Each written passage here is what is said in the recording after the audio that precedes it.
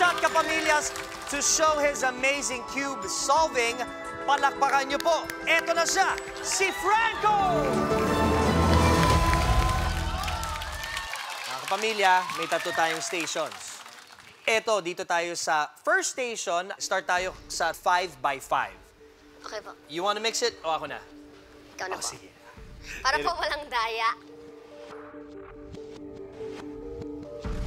Here's the cube. Ready? Go!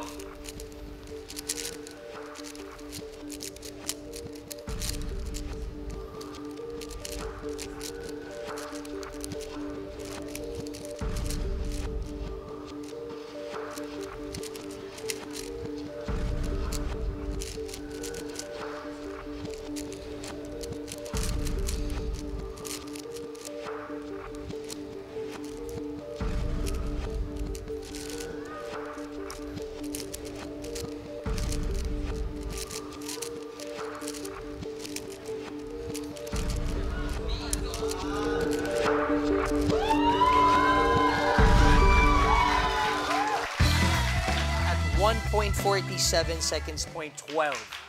Grabe. Gagawin natin yung second station, yung mga irregular shapes. At habang ginagawa natin to, I will mix this up.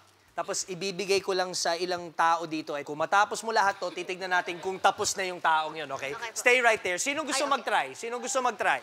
Okay, ikaw, kuya. Bro, dyan ka lang, umupo ka lang dyan. umupo ka lang dyan, itry mo isolve yan, okay, bro?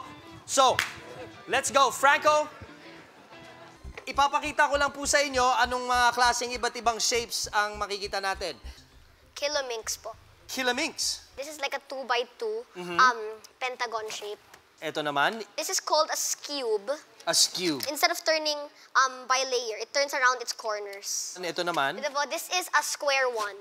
square one. Bakit? This has only four ways. Mm-hmm. One, two, three, and then the four is the other way of this. Okay, tapos meron tayo dito yung parang triangle. This right? is called po the pyraminx. The pyramids. Obvious naman siguro because it looks like a pyramid naman looks eh, di ba? So let's start with the uh, pyramids. It's the first time I've seen this, ha? First time ako nakakita ng mga cubes na ganito. Okay. okay. All right, you ready? Ready? Go.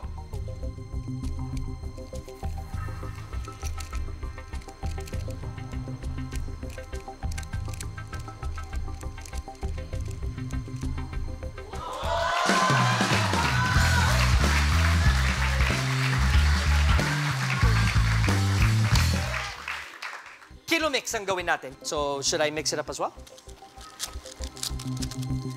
Eh! Ha! Oh, sige nga. There you go. Ready?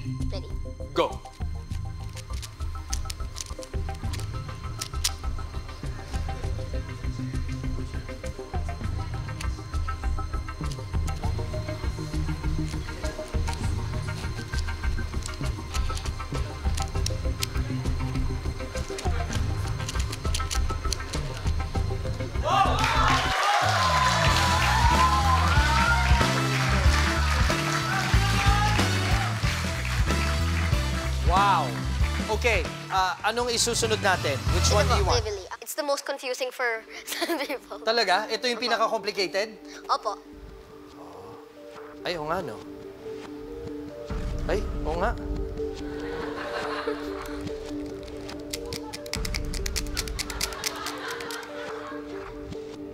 Alam mo, bubuti ka, ikaw na lang mag-mix. Mas nahirapan ako mag-mix kaysa sa mag-solve, eh.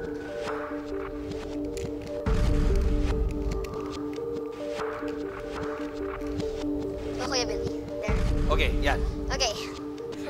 Ready? Ready? Set, go!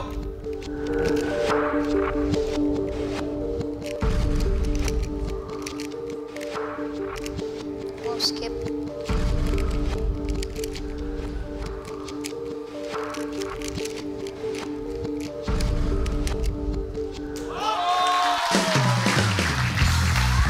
Wow! Good job, Franco. Give me five. Ano naman nandito? Kasi hindi natin Um, binuksan to. Er, Ito po, Kuya Billy. What we have here are just two cubes and what you would find in your regular kitchen. Nakakagulat naman. O sige, I'll be your assistant. What do you need me Okay, to do? ito po Kuya Billy. I'm going to scramble this cube. Yan, okay na? Okay? Is this mixed up on all six sides? Nakagulo po ba to sa lahat ng sides? Yep. Okay, ready na po sila. So ito po, ipapasok ko sa... Sa ah, loob. Sa loob. Blow po. Okay, ito po. Um, kapag kinuha ko po... Uy!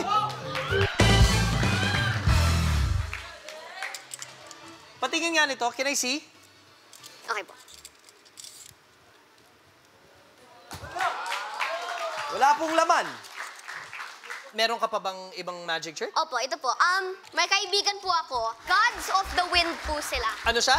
Gods of the Wind. Gods of the Wind. They're going to solve this Rubik's Cube. Okay. And if you blink, you're going to miss it. O sige, I'm ready. I won't blink. Okay, so... Walang kukurap! I-mix mo. Tapos ipakita mo sa lahat na it's all really mixed. It's all mixed on all sides. So, uh, we, we're all ready. We're excited. Already. Wala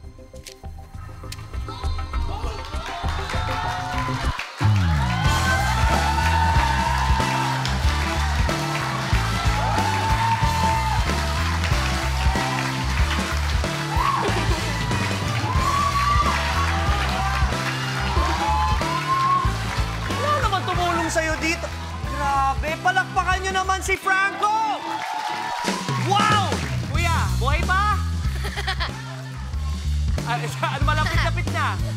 Watch the episodes and clips of Little Big Shots only here on ABS-CBN. Subscribe now to be updated weekly.